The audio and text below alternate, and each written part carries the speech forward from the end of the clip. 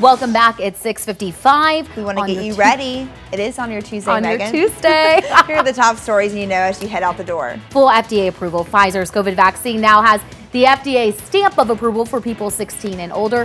Health leaders say this may lead to an increase in vaccines and could pave the way for more vaccine mandates.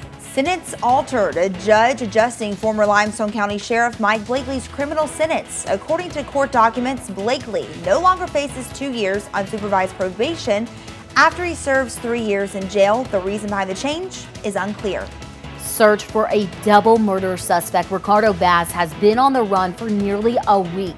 He is considered armed and dangerous, so if you see him, do not approach him. Call 911.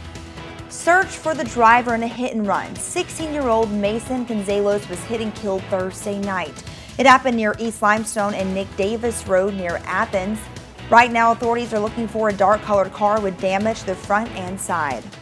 Helping Tennessee, WAAY 31's radio station partner WZYP is collecting relief items after that deadly flooding. They'll set up drop-off locations this afternoon at two Walmart locations.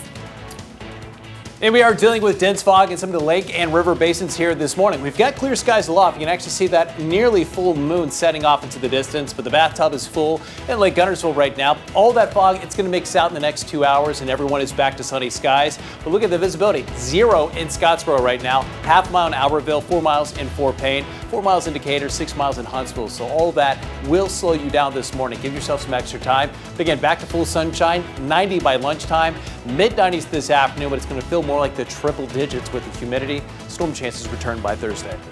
Thanks for joining us. Stay cool out there today. We'll see you back here at 723 for a local news update and watch out for all that fog.